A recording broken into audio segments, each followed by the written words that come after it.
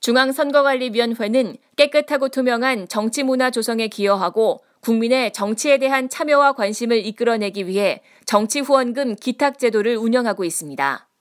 일반 국민의 소액 다수 정치 후원금 기부 문화 활성화를 통해 정치 자금의 투명성을 확보하고 나아가 민주정치의 건전한 발전에 기여할 수 있는 정치 후원금이란 무엇일까요?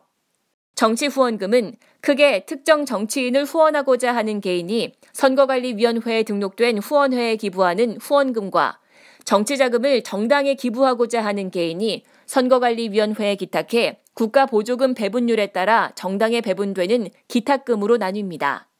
즉 쉽게 말해 후원금은 자신이 지지하는 정치인을 직접 후원하는 것을 말하며 기탁금은 선거관리위원회를 통해 정당을 후원하는 것이라 할 수 있습니다. 이러한 정치 후원금을 기부하는 방법에는 중앙선거관리위원회에서 운영하는 정치 후원금 센터에 접속해 신용카드, 신용카드 포인트, 계좌이체, 휴대폰 결제, 간편 결제 등 다양한 결제 방법을 선택해 기부할 수 있습니다.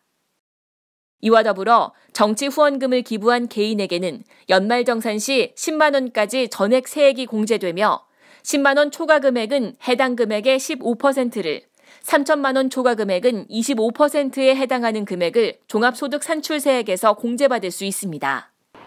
정치인이 정치 활동을 하는데 필요한 자금이 특정인 또는 특정 계층 등에 편중돼 발생할 수 있는 각종 부정부패를 예방해 깨끗한 정치 문화 조성과 발전에 그 의의를 두고 있는 정치 후원금. 그리고 나아가 우리 모두의 미래를 변화시킬 수 있는 투명하고 깨끗한 정치 문화를 위한 소액 다수의 정치 후원금에 대해서 보다 적극적으로 관심을 가지고 참여해보는 건 어떨까요? NEC 뉴스 조주은입니다.